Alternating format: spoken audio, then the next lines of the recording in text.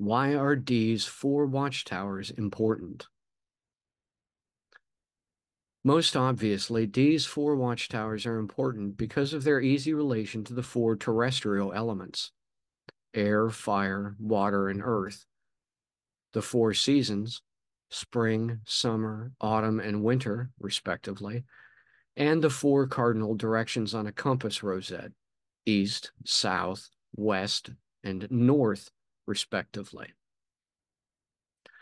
However, beyond the 12 subangles around the central four, linking the model to the 16 symbols of geomancy also, there is the apparently random fact that this allows the system to be able to function as a calendar. Each of these 16 subangles consists of four columns and five rows, with a Calvary cross of 10 cells in the center of each. Thus, each subangle has a total of 30 cells, and between the four subangles on each quadrant or watchtower are the deacon crosses of 36 cells each. There are then four such subangles of 30 cells each per quadrant or watchtower, plus the 36 cells of the deacon cross for each.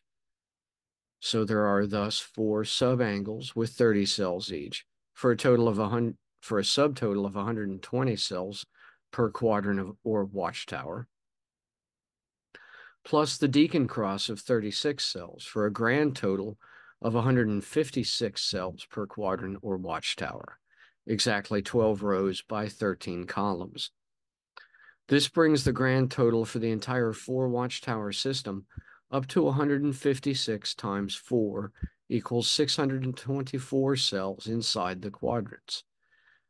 Now, if the four watchtowers were each 12 rows by 12 columns, then each quadrant would only have 144 cells, and there would only be 576 total cells in the whole system.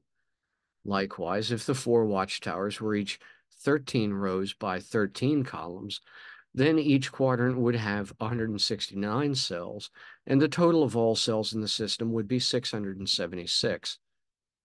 So, because Dee happened to choose, seemingly at random, to model the final Enochian watchtower's design on an essentially Cartesian coordinate grid, but one offset with 12 rows and 13 columns.